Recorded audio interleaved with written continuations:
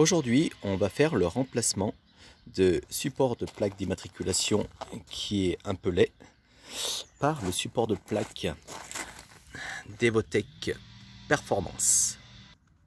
Donc le kit se constitue comme ceci. Ici, on a le bloc central usiné dans la masse. Une jolie pièce, belle finition. Sur un peu cher, mais bon. Par contre, la finition sera vraiment impeccable. Ici, le support qui va dessous. Là.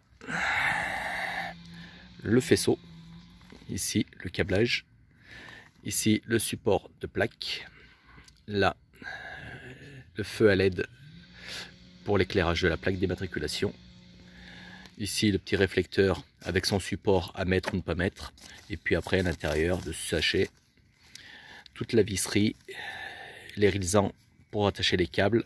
Voilà. Donc, il va falloir qu'on enlève les vis Torx ici, là, de chaque côté, ici, et celle-ci, et celle-ci. Donc, c'est du Torx de 25. Donc une fois que les vis sont enlevées, on prend là-dessous, là, on fait levier dessous, ici. On fait levier là, ici, on pousse sur le côté.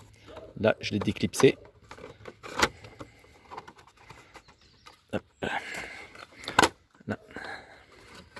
C'est comme suit. Donc on voit qu'il y a ici, vous voyez l'éclipse. Là, donc c'est clipsé là, là, là. Donc il faut faire le levier avec le doigt, comme ça et comme ça, ici. Et il y a des clips là, là. Et un qui est là-dessous. Donc pour ça que là on fait levier d'abord comme ça dessous pour déclipser celui-ci. Après on vient ici, on pousse dans ce sens-là pour déclipser cette partie-là. Et après, on clipse, on pousse de ce côté-là et on finit par le plus fin. Comme ça, on clipse. Voilà, donc une fois effectué, on voit, on a enlevé une partie, l'autre. Ça nous permet d'accéder au faisceau clignotant d'un côté et de l'autre. Donc avant de débrancher les fils, faut venir ici avec toujours du torx même dimension. On vient dévisser, hop, pour accéder à la batterie, débrancher la batterie avant toute manipulation, avant de débrancher euh, les fils pour éviter un court-circuit et d'endommager la partie euh, électrique de ce beau joujou. on va retirer les deux vis dessous la plaque. Fois les deux vis retirées, vous poussez tout en tirant vers vous en arrière. Voilà. Puis donc là, ce qui fait qu'il reste plus qu'à déconnecter, enlever les colsons qui tiennent les fils. Le connecteur pour la plaque d'immatriculation, c'est celui-ci. Donc il faut faire le levier devant là avec un ton de 10, un petit ton de 10 et tirer vers vous.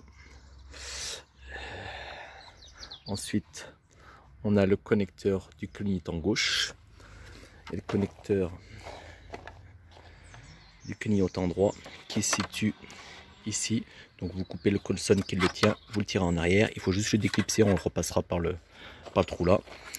Vous déclipsez ici le connecteur ODB, OBD, excusez-moi. Là, vous le déclipsez pour enlever le colson qui est juste là pour pouvoir tirer la plaque d'immatriculation, l'éclairage et le clignotant.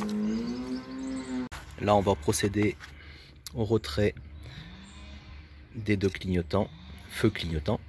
Donc, il faut une torx de 30 avec une clé de 10.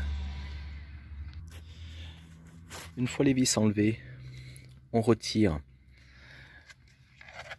comme suit on tourne un quart tour dans ce sens là et après on pousse en arrière voilà bien effectuer le quart tour et tirer en arrière Après, il faut bien mettre en place cette petite patte support qui est livrée dans le bloc. Et on vient procéder à l'inverse. Donc on positionne bien dans le cran. Et après, on refait un quart tour pour venir s'axer par rapport au trou de la vis. Là, la plaque est en position.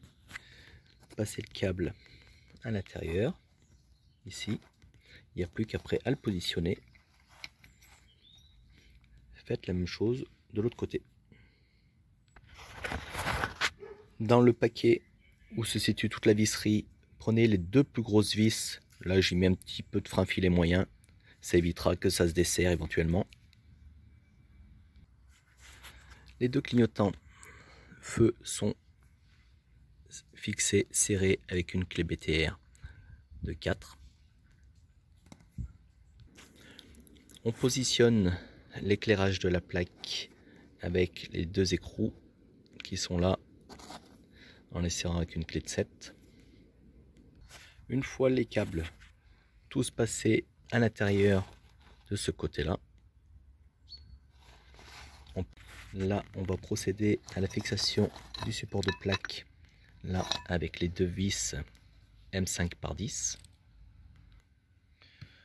Comme tout à l'heure, on va mettre une petite goutte de frein filet moyen. La patte support, j'ai remis les vis d'origine de chez BM, plus longue. Ça me paraissait, euh, j'étais plus en confiance d'installer celle-ci. Donc là, ici, donc le clignotant droite, je l'ai fait passer par là. Clignotant gauche ainsi que l'éclairage de la plaque, on le passe de ce côté-là. Ici, on installe le petit tampon qui permet de stabiliser et de bien tenir droit le support, euh, le support de plaque. Et là, on va attacher correctement les fils pour qu'ils soient positionnés correctement ici afin qu'ils ne soient pas écrasés par la plaque. Le support mis en place.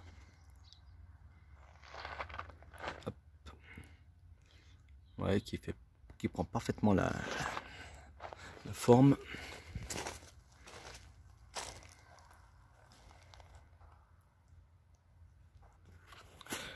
Une fois tout mis en place, on met la rallonge pour l'éclairage de la plaque qu'on va reclipser ici sur le petit connecteur là.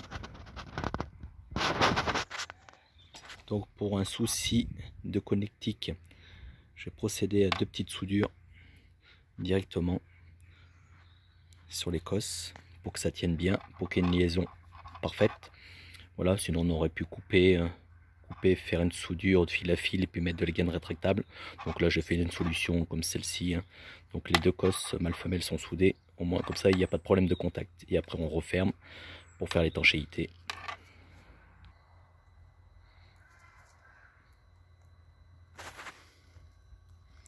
Voilà. Donc là c'est installé. On voit l'éclairage.